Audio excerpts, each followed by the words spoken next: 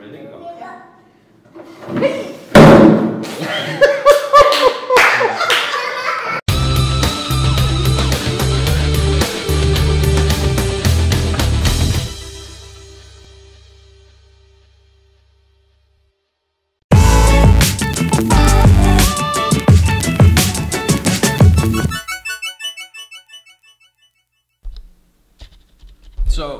welcome to our first vlog, vlog number one.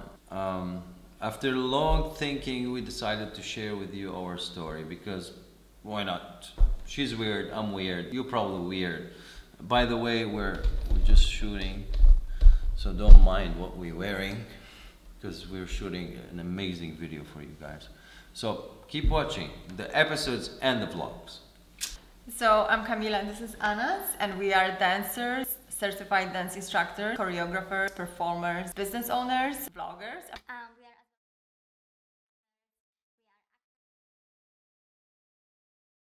Wait, wait, wait, wait. Let them watch this.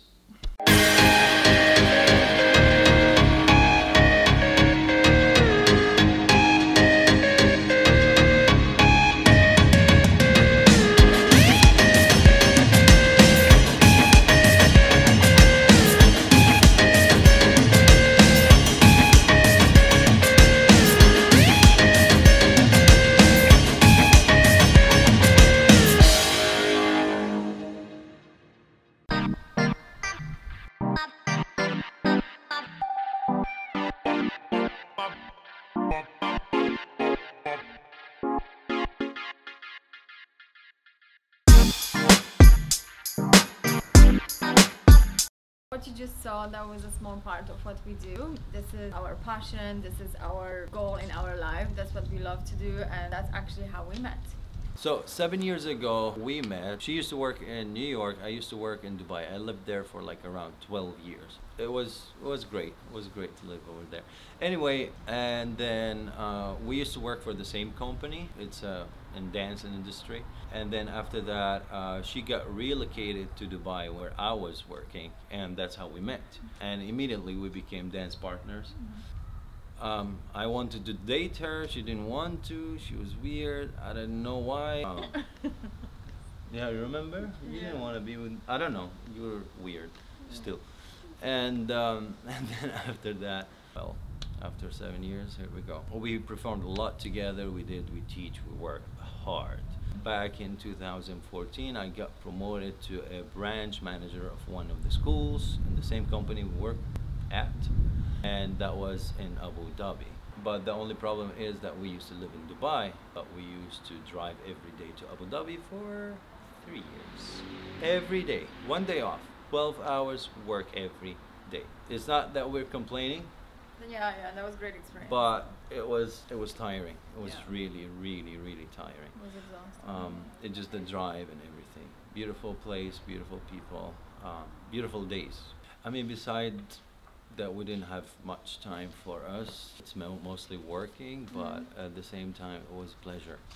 Um, especially teaching people how to dance and and knowing that we are part of their lives and changing part of their lives. Uh, that's that was the main pleasure for us, and and that's why we kept going. We didn't mind the drive and long hours and everything. Yeah, the business was doing really good and we were really happy. And then after a few years of working there, we decided it's time for us to move on and do our own projects. Here's the thing: it's more not about just that we wanted to do our own projects, but at the same time we're literally responsible for the training. I was doing the sales. I was doing everything almost, and she used to assist me. And there's teachers and there's a lot of students, and was really really busy. So we thought to ourselves that why not to do it for our own, not just for somebody else. We we love where we used to work, and we love we appreciate everything we've learned. However, you know, there's a time where the bird wants to fly.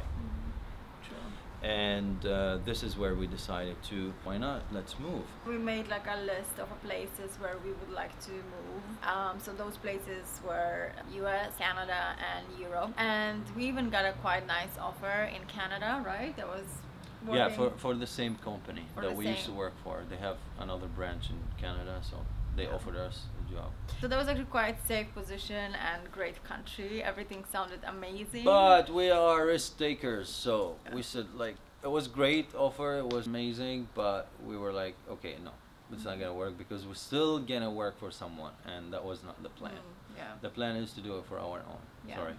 Yeah, then go ahead. So basically, we are uh, driven people. Finally, we decided to move to Europe. We took like a tour around Europe to see where is the best place to be, um, like Finland, Poland, Germany, Italy, uh, Austria, different countries. I visited Europe a couple of times, but I really didn't know how life would look like till we actually moved. And finally, we found the place to be and where we wanted to stay. Can you guess where we are?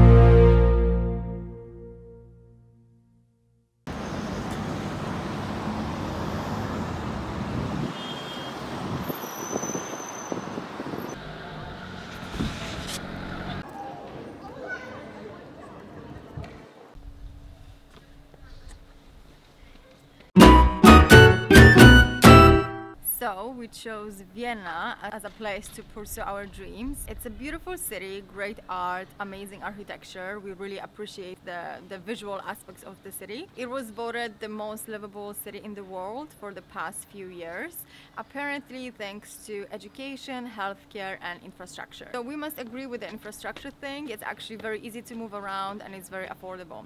Additionally, what you might not know, Vienna is the wine capital, is the only city in the world that produces significant amount of wine within its city limits. So that's a great aspect. We never run out of wine, and I guess that's what makes the city very livable, at least for us. The wine makes it very livable. I just did this, yeah, no, Oh, like. okay. and as dancers, artists, and creators, it's a beautiful city because it's full of art, music, dancing everywhere, and there is a big ball season where everybody gets to is a big deal here. Everybody gets to um, dressed up with their tuxedos and shiny shoes, silky hair, and the ladies wear gowns and the high heels, and they dance the waltz and many other dances, and that's an amazing thing to do. Full of flies, full of music, full of dancing. This is beautiful thing. So it's for us. It's very obvious why we chose Vienna to be. It's it's a lot of dancing here. Yes, as Camila said, it was voted the most livable city in the world. But in the other hand, also it was voted the most unfriendly city in the world for the year 2017. Well, if you live here for a while, you would probably understand why. And the other part too is that I really don't understand. This country, they say we're green and green and green and green, but I don't know why there's a lot of papers everywhere. You open your drawer and there's papers. You open your mailbox, there's papers. You open your office, there's papers. You open your apartment door and there's papers. And there's papers, papers, papers, papers, papers everywhere. I still didn't get it. Why? There's a lot of papers. However, for sure, these are not the biggest problems that we're facing, but we just care and we hope for little changes. But definitely for the last three years, we faced bigger challenges and bigger issues to worry about while being here. The real problem is that this charming city, that is presumably a capital for artists, is at the same time a curse for them, including for us. And the reason for that is bureaucracy, old fashioned law, and what we believe a fear from other people coming here and doing things differently. Make sure to follow our vlog to share with you the challenges that we've been facing here for the last three years as an artist in the city of art.